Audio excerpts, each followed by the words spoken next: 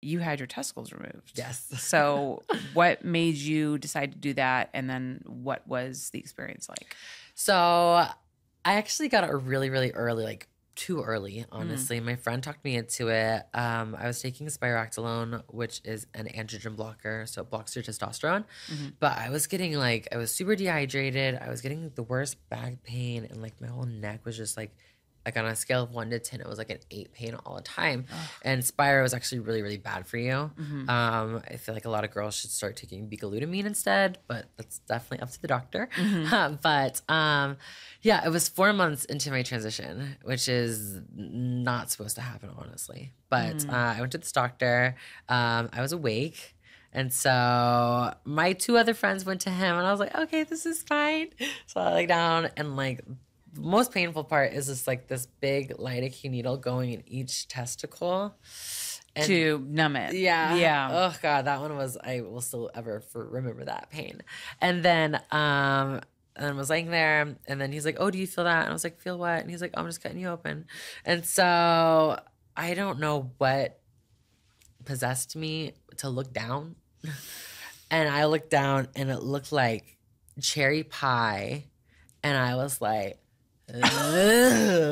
so gross. I started like heaving, and he was like, "Do not throw up right now." And I'm like, "No." Wait, you should have like a curtain up or something so you couldn't see. No, literally, I'm like, "Oh no!" Because they do the that for you when they do a worst. C-section. They put up a curtain so you don't see because they have to take your intestines out Yeah. in order to take the baby out, so you don't It have to look at a- it. It was such a crazy experience. And then also while he's doing that, like that's numb, but like you can feel all of like the cords in your stomach. Like you can feel everything being pulled. And I'm like, oh, it was, it was. I had big balls though. Honestly, he had them on the table, and I was like, oh my god. I was- it was very surprising. I think honestly they were big because it wasn't. I didn't give enough time to have them shrink from testosterone blockers. Right, okay. Because usually they'll shrivel up to little things, but no, I they were big as balls. Is that okay? So is that what they suggest? Because you said that you got it done a little early. So is it suggested that you wait until they shrink before you do that? so um, a lot of times they don't want you to do it if you're getting SRS. They don't want you to do it until um, you do the surgery because then a lot of times the the tissue it can atrophy, it can die, you can lose sensation from um, the the orchiectomy. So um, sometimes girls get it, and um, I do testosterone cream. Mhm. So it helps um, the the tissue stay alive and healthy, but also it doesn't like bring my testosterone up to like a male level. hmm Wow. And then what did you do with your testicles afterwards? So I was able to bring them home. So I will never say his name because he could lose his license. Okay. Uh, and then like I was literally just like in so much pain. And I'm thinking, and I'm like, how do I put this in my luggage? Because I just had a carry on. And I'm like, there's no way that I'm going to be able to fly with these. So my friend was taking a bath at the time. And I went over there and I was like, hey. And of course, I'm like doped up on pain pills. Yeah, of course. And I just chunk it at her.